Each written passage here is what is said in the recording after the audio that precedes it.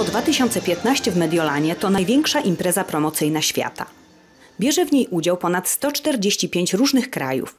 Tematem przewodnim jest wyżywienie planety Energia dla życia.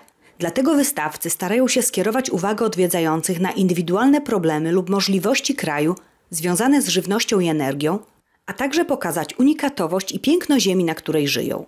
Możliwość zaprezentowania publiczności dorobku technologicznego, kulturowego i naukowego w tak prestiżowym wydarzeniu daje krajom możliwość promocji o bardzo szerokim zasięgu, a także nawiązania współpracy międzynarodowej mogącej rozwiązać globalne problemy. Na 110 hektarach stolicy Lombardii zmieścił się cały świat.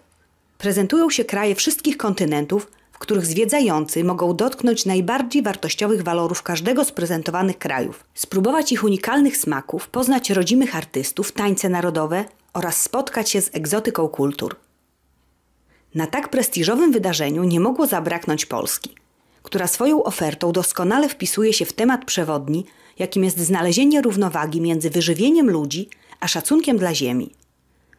Polski pawilon jest czwarty pod względem wielkości na całej wystawie. Forma pawilonu jest wielką skrzynią na jabłka i przyciąga wzrok swą atrakcyjną ażurową konstrukcją.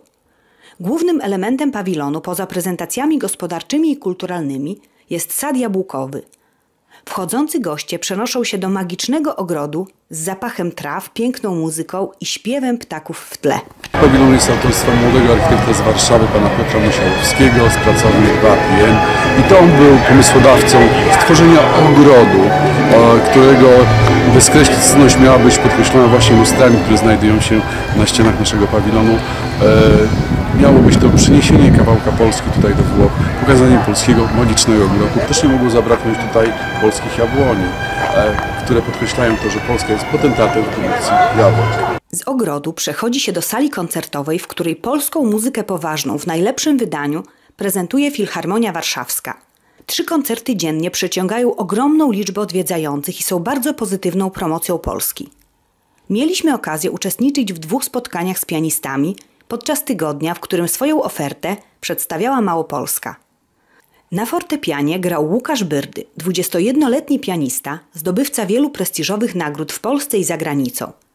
A od środy rozpoczęła swoje koncerty Zuzanna Pietrzak, która ma zaledwie 18 lat a już wiele sukcesów za sobą i wiele międzynarodowych nagród muzycznych. Osoby odwiedzające polski pawilon są zachwycone. Przede wszystkim e, na samym początku wita ich niespodzianka, czegoś się nie spodziewają, więc polski sad, polski ogród, tajemniczy ogród przygotowaliśmy, który jest strefą wyciszenia. Następnie e, zwiedzający polski pawilon wchodzą do sali, gdzie mogą wysłuchać koncertu muzyki szopenowskiej w wykonaniu polskich młodych pianistów.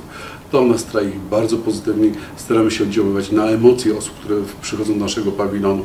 Dlatego też spotykamy się z naprawdę bardzo mm, pozytywnymi recenzjami.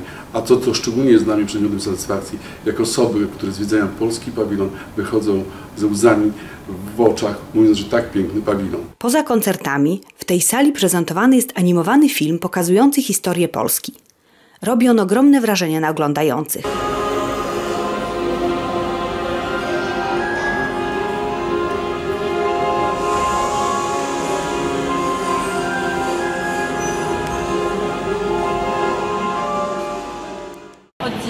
Poniedziałku gościmy tutaj Małopolskę. Co tydzień w naszym pawilonie zmienia się region, który gościmy. Do wczoraj mieliśmy Dolny Śląsk, były wypieki chleba, była kuchnia, było malowanie na, na jedwabiu, można było sobie zrobić takie ładne bransoletki z agatów. Od dzisiaj mamy tutaj Małopolskę. Pokazuje nam oczywiście nasze przepiękne miasto Kraków. Bardzo też przyciąga uwagę Wita Zlau, tutaj ta interaktywna twarz, która właśnie opowiada różne historie, e, podaje informacje dotyczące Polski, jakieś tam konkursy, robi quizy, mówi no teraz dzieci powiedzcie mi e, jaki kolor ma flaga Polski, żeby właśnie o to chodzi, żeby każda osoba wchodząca do pawilonu wyszła z jakąś informacją konkretną dotyczącą Polski. Goście chętnie gromadzą się wokół instalacji multimedialnej Ust Prawdy na wzór słynnej rzymskiej płaskorzeźby. Wspaniała komputerowa animacja opowiada zwiedzającym o Polsce, dyskutuje z nimi, zadaje pytania dotyczące Polski, głównie w języku włoskim, również w innych językach, a my przekonaliśmy się, że mówi również po polsku. Ciao, amici. Podkarpatka. Come vengono comunemente chiamate le regioni della Polonia? Quale scegli? Esatto, voi votate. Ottima risposta. Alice, ti meriti un bel applauso. Brava. Proszę bardzo. Duża część pawilonu poświęcona jest na promocję polskiej gospodarki.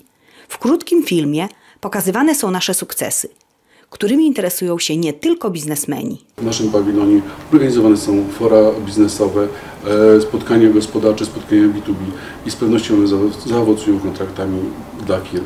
I to są te korzyści wymierne, które mam nadzieję, że wkrótce e, polscy przedsiębiorcy odczują. W ofercie turystyczno-poznawczej organizatorzy przygotowali wiele innych atrakcji. Zwiedzający mają możliwość rozwiązywania quizów, odpowiadania na pytania dotyczące polskich miast, sławnych Polaków, historii i zwyczajów. Rywalizują między sobą w walce o jak największą ilość punktów.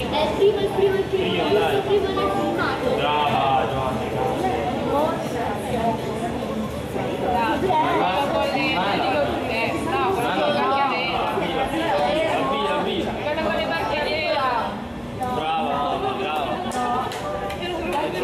Jak Polska to szczerość i gościnność, a jak mało Polska to oczywiście czerwone korale. Każdy odwiedzający w tych dniach miał możliwość degustacji polskich produktów: suszone jabłka, michałki, krówki, ciastka wielozbożowe oraz wata cukrowa zupełnie nieznana w innych krajach. Jak mogło zabraknąć w sadzie z jabłkami soku jabłkowego? Yes, yes. Uh, Stoisko, na którym można było samodzielnie zrobić czerwone drewniane korale z daleka wyglądające jak czereśnie, przyciągało ogromną liczbę odwiedzających. Cudownie było robić korale wraz z obcokrajowcami, zauroczonymi polskim pawilonem i polską gościnnością. A w ciągu dnia spotykać turystów, na których polski pawilon zrobił wyjątkowe wrażenie. W restauracji prawie cały czas jest komplet klientów. Nasi kucharze i cukiernicy od wczesnych godzin krzątają się i przygotowują smakołyki, w których rozkochali się obcokrajowcy. Pierogi, śledzie i żurek robią tu prawdziwą furorę. Serwowany jest również pasztet z domowymi marynatami, placki ziemniaczane, naleśniki, tarta z owocami oraz rewelacyjna kaczka. A klienci nie kryją zachwytu. Sono molto contento del ristorante polacco e l'anatra era squisita. Mi piace la cucina polacca, specialmente lo jurek. Polski sklep kusi konfiturami. Nie brakuje ptasiego mleczka, delicji, krówek oraz polskich alkoholi.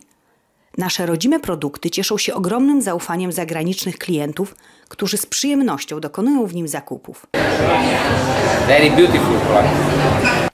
Nasz pawilon żyje i zachwyca tysiące gości każdego dnia. W ciągu miesiąca odwiedza go ponad 100 tysięcy osób, z których wiele miało wcześniej zupełnie inne wyobrażenie o naszym kraju. Przed wejściem do pawilonu w strefie relaksu turyści chłodzą się pod parasolami przypominającymi drzewa jabłoni, a wieczorem w tym samym miejscu zaczyna się zupełnie inne, młodzieżowe i energetyczne życie. Obsługa pawilonu w promocję Polski wkłada całe serce, rozpoczyna pracę przed otwarciem, a i po zamknięciu ma pełne ręce roboty. Polska prezentuje się na targach jako kraj nowoczesny, osiągający sukces gospodarczy oraz atrakcyjny partner biznesowy. Głównym celem udziału naszego kraju w Expo 2015 jest budowa trwałego zaufania do marki Polska i marki polskiej gospodarki. Mamy piękną przyrodę, zaskakujące zabytki, wspaniałe tradycje, wielką historię, kulturę i sztukę. Dzięki uczestnictwu w Światowej Wystawie Expo możemy zaprezentować nasz dorobek całemu światu. Mediolan nazywany jest obecnie pępkiem świata, a my jesteśmy w jego samym środku.